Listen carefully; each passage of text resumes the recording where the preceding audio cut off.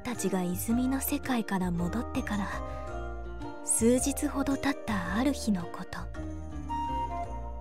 ユウは打倒魔王に燃えて修行の日々を過ごしていました。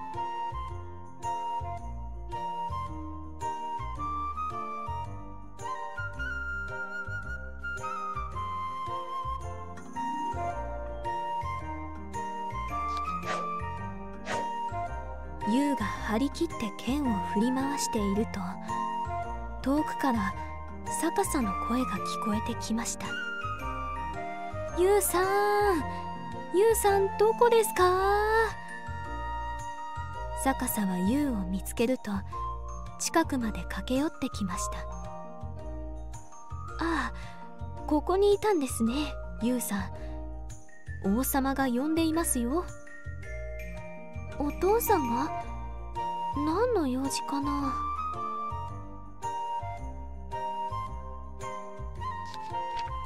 逆さがユウの握っている剣に気づきます。あそれが噂の勇者さんの剣ですね。えへへそうなんだ。ユウは父親の剣を勇ましく構えます。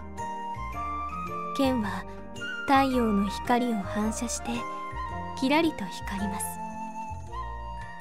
えー、っとかつての魔王を討ち取った剣ですよね。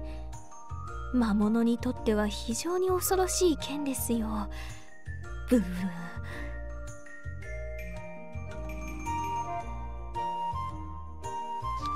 逆さが大げさに怖がって見せるのでユウは少し怒っ「やめてよ逆さ。パパの剣はそんなに怖い剣じゃないよ」と剣を逆さの目の前に差し出します。逆さは一瞬「ひ」と後ずさりますがすぐにあることに気がつきます。おや？この剣刃が研がれていませんね。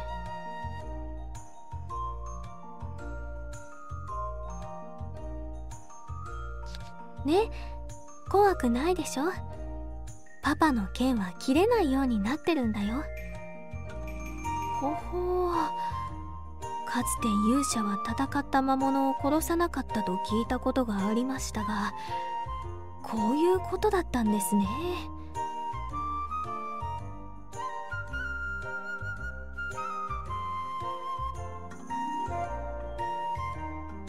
あユウさん。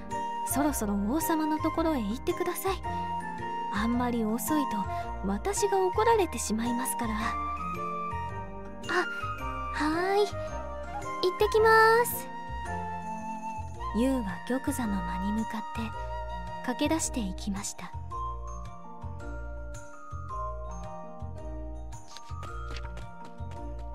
ユウは元気よく玉座の間に飛び込み王様ドラゴンに話しかけます。お父さん呼んだ？来たよ。王様ドラゴンはユウにそばまで来るように言います。はーい。ユウはとてとてと王様のそばに駆け寄ります。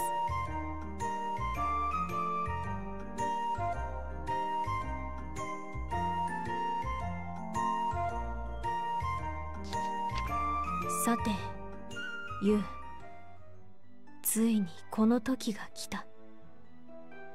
この時？ああ魔王を倒す時が来たのだ。え？じゃあ魔王がどこにいるか分かったの？そうだ。復活した魔王はかつて根城にしていた山に今も潜んでいるようだ。魔王の山。言ってくれるか？ユウ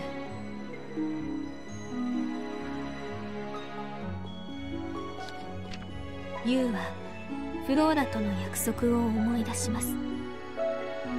魔王を倒さないとフローラが言っていたように人間の国が魔王に責められてめちゃくちゃにされてしまう。だから私が魔王を倒してみんなを助けるんだ。お父さんみたいに。ユウは決意を胸に王様ドラゴンに返事をします。うん。私絶対魔王を倒すよ。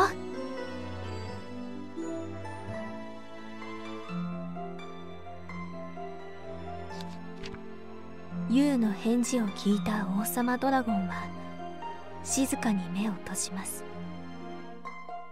そして少し間を置いてからああこれまで頑張ってきたユウなら必ず倒せるよ。さあ行ってきなさい。ユウ王様ドラゴンの言葉に背中を押されユウは魔王討伐のため魔王山へと向かいます。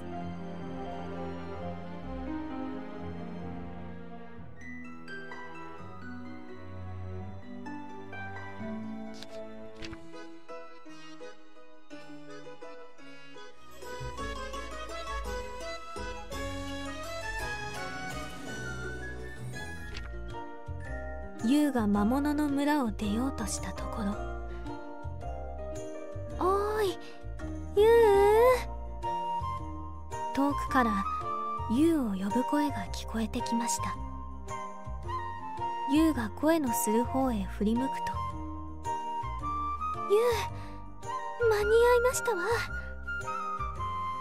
はあはあと息を切らせてフローラが走ってきました。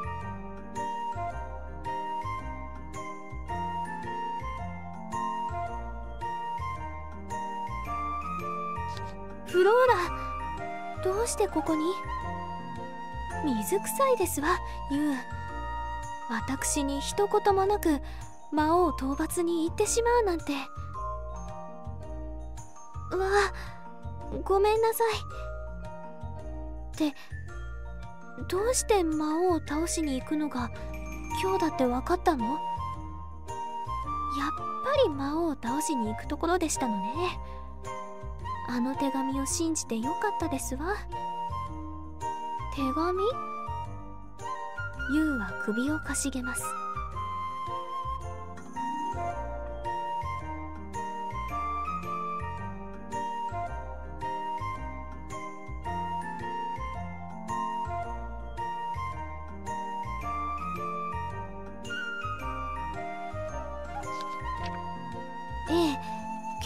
たら枕元に置いてありましたの。今日勇者が魔王討伐に出発するって。こんな手紙を一体誰がって不思議に思いましたけど。きっと泉の精霊の計らいですわね。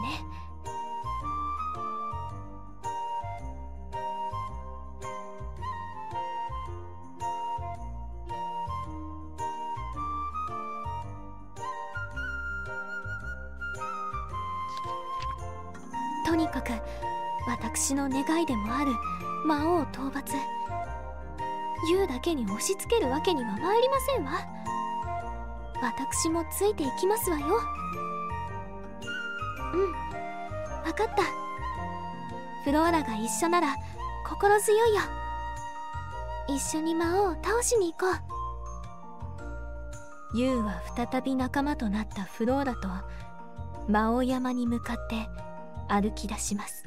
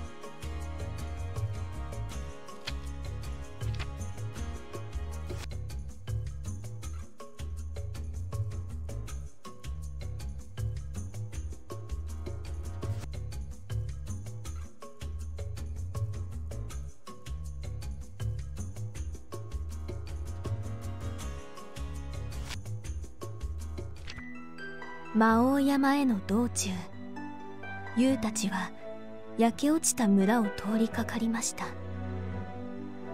あちこちから煙が立ち上りブスブスと焼け焦げた匂いがします。うわひどい。ここはかつて人間たちが住んでいた村ですわ。人間たちが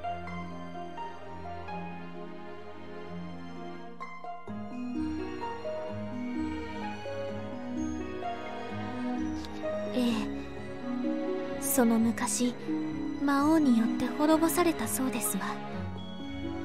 未だに消えることなく立ち上る煙は魔王の魔力の凄まじさを物語っていますわね。ユウはその恐ろしさに言葉を失い呆然と廃墟を眺めます。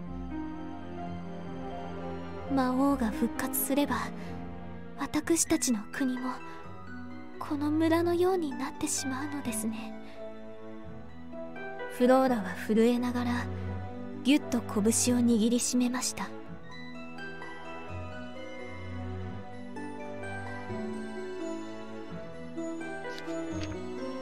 フローラ絶対絶対魔王を倒そうね。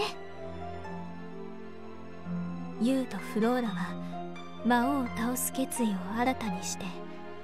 その滅びた村を後にするのでした。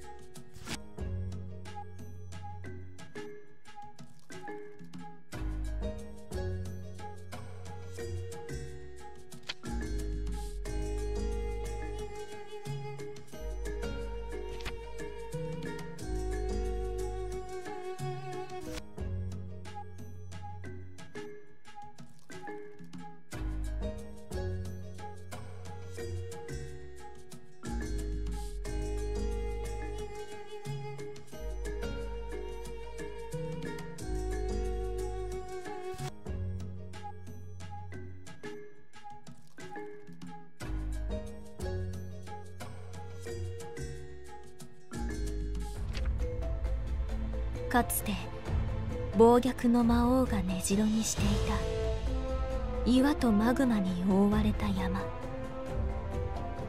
マグマの海の上に浮かんでいるため非常に気温が高く立っているだけで汗が滝のように流れてくる。魔王討伐後にちりぢりとなった気性の荒い魔物たちが愚かな人間が足を踏み入れるのを待ち構えている危険な場所。魔王山。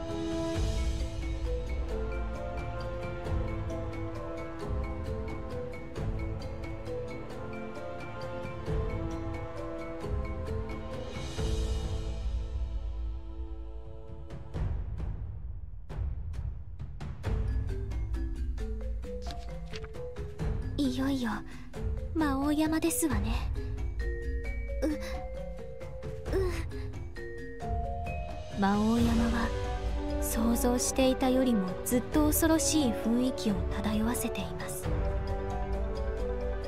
ここにはかつては魔王の家来その中でもとびきり凶暴な魔物たちが潜んでいるみたいですわ。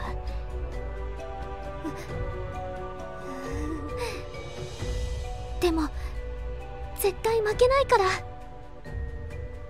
ユウは恐怖を吹き飛ばすように大きな声を出しました。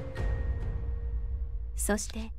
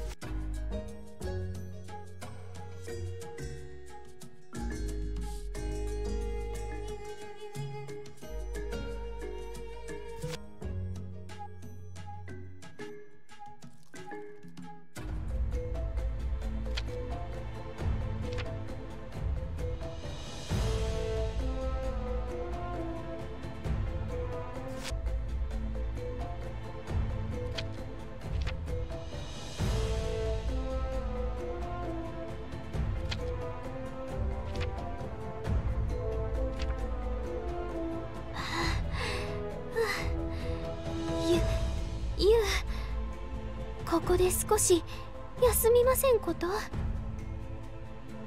魔物から隠れられそうな場所を見つけフローラは言いました。ああうんうん。ユウもここまでの激しい戦いとじりじりと体を焼く魔王山の気温でヘトヘトだったのでフローラの提案には大賛成です。休憩をしながらユウとフローラは話をします。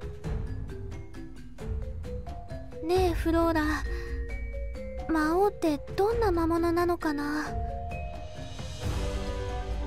そういえば私もおとぎ話でしか聞いたことがありませんわ。大きな体に大きな角が生えていると語られるお話が多いですわね。フローラは人差し指を角に見立て頭の横に添えます。お話によるとその角は魔王の凶暴な力を司っているらしいですわ。角の大きい魔王はそれだけ凶暴ということですわね。へえ。じゃあものすごく大きな角が生えてるんだろうな。うなんだか私怖くなってきましたわ。ブルブルとフローラが身震いします。ああこの話はもうやめよう。もう十分休憩できたしそろそろ行かない？じわじわと湧き上がってきた恐怖心を振り切るように慌てて立ち上がるユウとフローラ。二人は頂上へ向かって再び歩き出しました。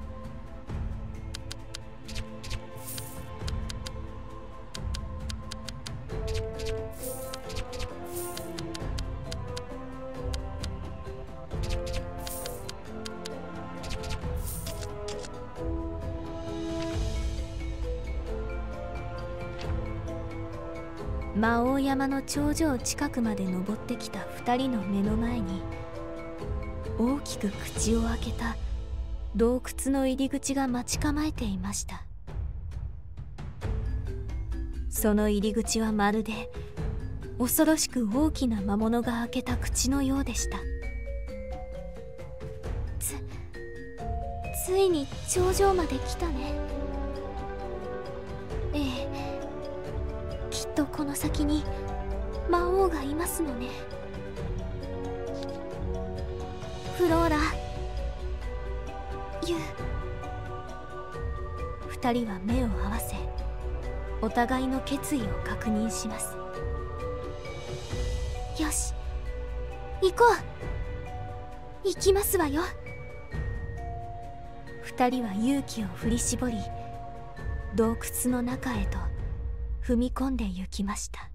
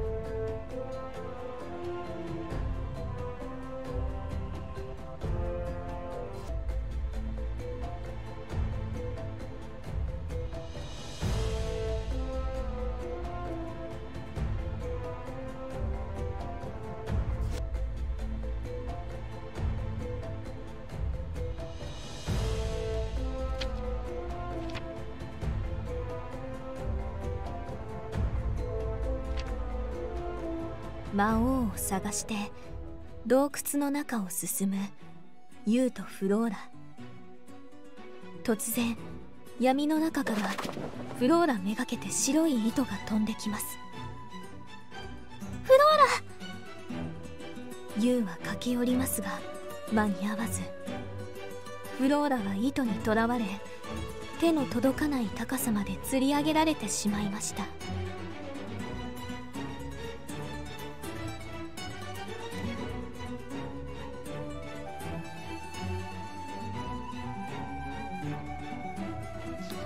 ローラ待ってて。今助けるから。待ってユウ。後ろに何かいますわ。フローラに気を取られているユウの背後から何者かの大きな尻尾が襲いかかってきました。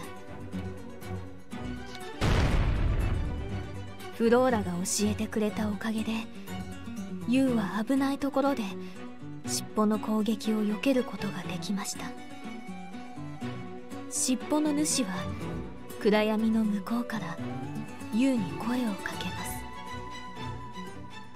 この魔王の攻撃よく避けたな。褒めてやろう。魔王？尻尾を避けて体勢を崩していた優は慌てて立ち上がり声のした方へ振り返ります。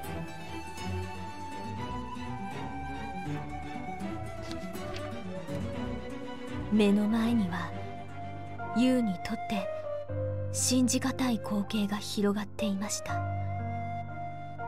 魔王と名乗る声の先にいたのはなんと王様ドラゴンだったのです。おお父さん？優は目の前の現実をすぐに受け入れることができず混乱する頭で何が起きているのかを必死で考えます。お父さんはどうしてここにいるの？魔王はどこにいるの？今誰が魔王って言ったの？魔王はどこにいるの？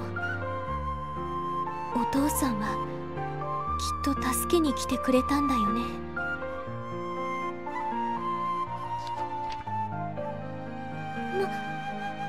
ま魔王はどこにいるの？ユウはやっとのことで小さな声を絞り出しました。私が魔王だ。ユウ嘘。だよね。あの優しい王様ドラゴンが魔王だなんてそんなことを信じられるはずがありません。あわかった。これって修行でしょ。お父さんは魔王の役をしてるんだよね。なんだ。ちょっとびっくりしたけど。修行か。よし。じゃあこれは魔王と戦う練習なんだね。そんな言葉をユウが言い終わる前に王様ドラゴンの尻尾が鞭のように鋭く放たれ激しくユウの体を叩きつけます。キャこうでもしないとわからないか。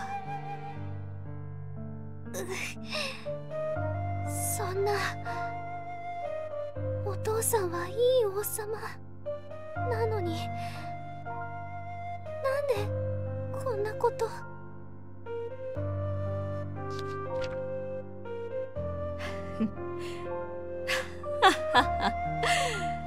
私がいい王様だと笑わせるな。ユウお前も見ただろう。ここに来る途中で滅びた村を。あんなことをするいい王様がどこにいる？ユウは目に涙を浮かべながら王様ドラゴンを見つめています。私はいい王様なんかじゃない。悪い王様。いや魔王だ。嘘だ嘘だ。そんなそんなはずないよ。嘘だって言ってよ。口で言ってもわからんようだな。仕方ない。王様ドラゴンはそう言うと未だに困惑しているユウに容赦なく襲いかかっていったのです。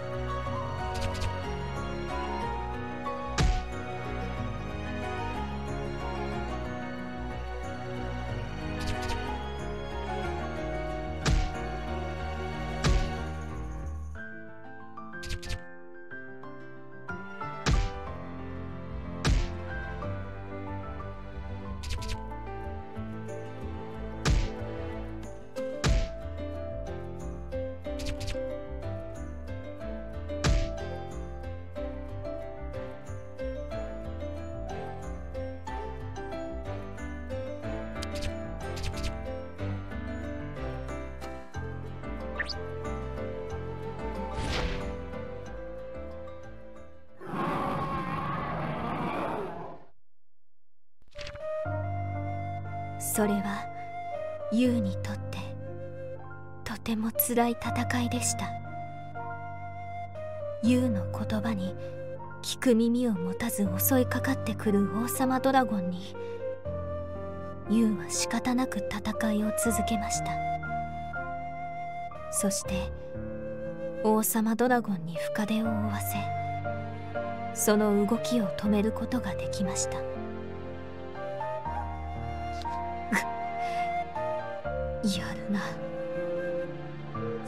すが勇者の娘だ。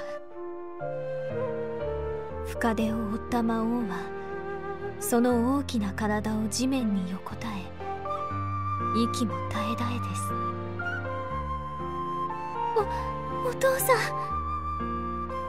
ユウは王様ドラゴンに駆け寄ります。さあ殺せ。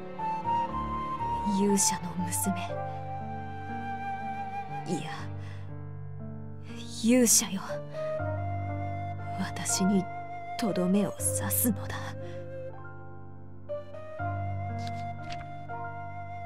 そんな嫌だよ。殺すなんてできないよ。優の言葉をかき消すように王様ドラゴンは叫びます。ユウ私を殺せ。殺すのだ。ユウは怯えたようにうつむいたまま動くことができません。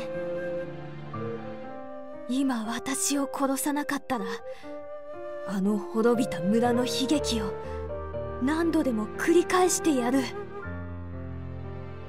絞り出すような方向。ユウは肩をビクッと震わせます。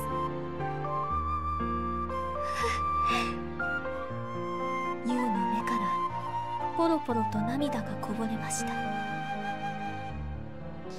ユウは滅びた村の悲惨な光景を思い出します。それをしたのは自分だという王様ドラゴン。それをまた繰り返すという王様ドラゴン。もはやユウは何を信じていいか分からず考えることに疲れ果ててしまっていました。そしてユウは王様ドラゴンの首元に立ちます。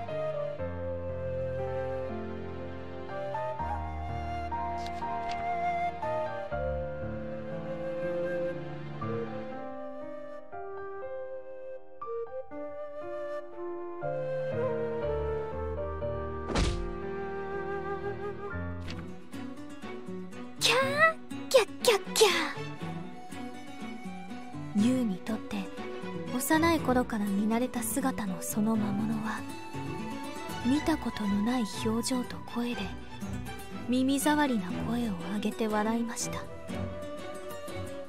ありがとうユウ。僕はこの時を待ってた。魔王様に深手を負わせてくれる時をね。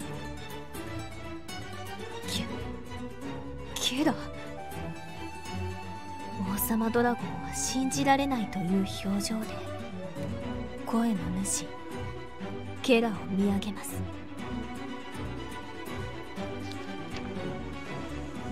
おやおや魔王様しばらくお静かにお願いいたします。なーに悪いようにはいたしません。すべてこの僕にお任せあれ。ようやく起き上がったユウはいつもと違う様子のケラに困惑します。ケラ？なんで？なんで？キャッキャキャああおかしい。ケラは相手をバカにした声で笑い転げます。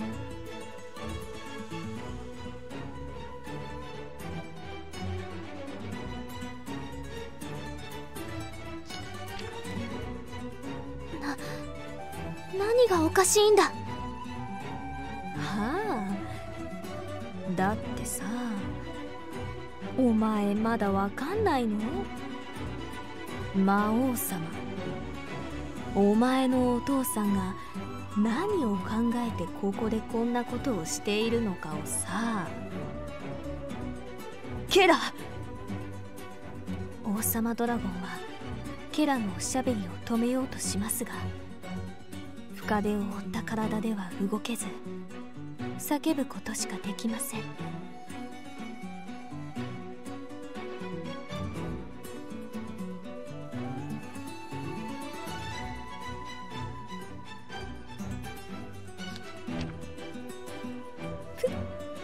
ッキャわかんないなら僕が教えてあげるよ。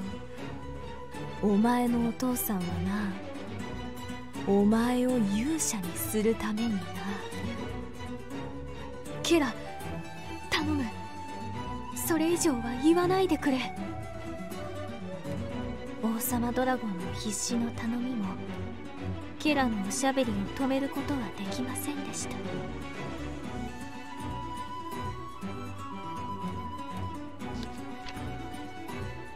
わざとお前に殺されようとしてたんだよ。なぜかって？そうすれば言う。お前が人間たちから勇者様って認めてもらえるだろ？だからわざとお前に負けたんだよ。キャーキャッキャッキャッ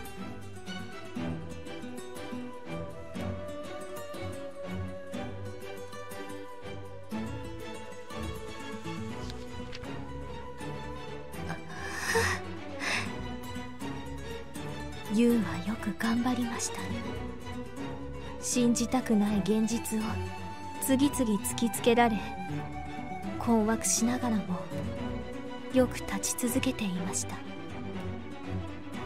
でもケラの最後の一押しでユウの心は折れてしまいました。全身から力が抜けがっくりと膝から崩れ落ちます。ケラ貴様。あら魔王様。おいたわしや。もはや口しか動かせませんか。キャキャしかしそれでいいのです。すべて僕の計算通り。魔王様のために素晴らしいものを見つけ出しておいたのですよ。ケラは糸の塊から角のようなものを取り出します。それはわかりますか？ええそうです。これは勇者におられ行方知れずとなっていた。魔王様の角ですよ。角を見た王様ドラゴンの顔がさーっと青ざめます。けらまさか。ええそのまさかです。魔王様にはこの角でかつての強大な力と邪悪な心を取り戻していただきます。キャッキャッキャッ。とケラは一人で大盛り上がり。だダメだケラ。それはそれだけはやめてくれ。必死の懇願も意に介さずケラは王様ドラゴンに近寄ります。ややめろ。お父さんから離れろ。ユウが立ち上がり王様ドラゴンを助けるために駆け寄ろうとします。しかしおいおいユウお前はもう用なしなんだよ。奪った剣をユウに向かって放つケラ剣はユウの腹を切り裂きガランと音を立てて地面に転がりました。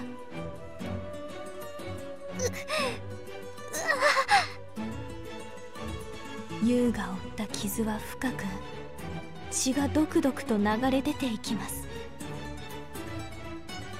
このままではユウの命が長くは持たないことは誰の目にも明らかでした。ゆユウケラ貴様貴様王様ドラゴンの悲痛な叫び声が虚しく響き渡ります。ああはいはい。おとなしくしていてくださいね魔王様。今元気にして差し上げますからね。様ドラゴンの頭に角を近づけるケラその時王様ドラゴンは最後の力を振り絞って小さな炎を吐きました。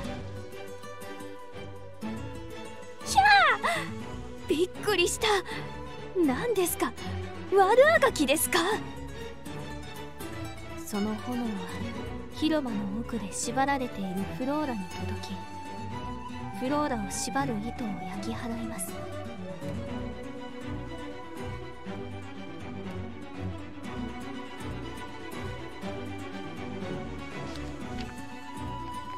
フローラは急いでユウに駆け寄りユウを抱きかかえます。